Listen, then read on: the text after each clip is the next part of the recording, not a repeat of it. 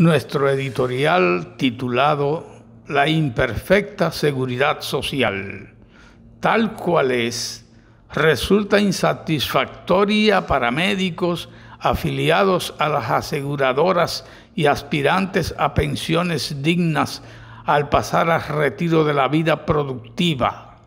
Imposible desconocer a los fines de reformarlo que el sistema de protección en salud y de subsidios para jubilados y dependientes quedó atrás en el retorno de beneficios a los afiliados principalmente.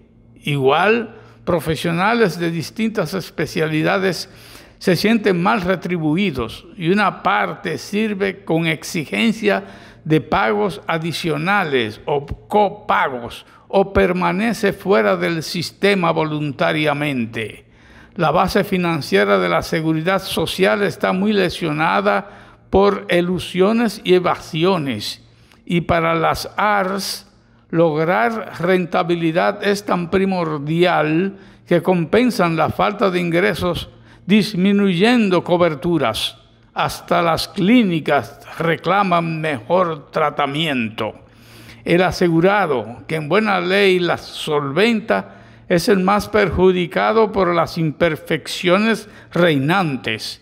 La solución estructural al insatisfactorio estado del régimen asegurador junto con el pensionista tiene que provenir de una mayor captación de recursos para cubrir hospitalizaciones y consultas, procediendo con mecanismos de detección y severas sanciones a quienes cotizan por debajo de las reglas o estafan para no hacerlo.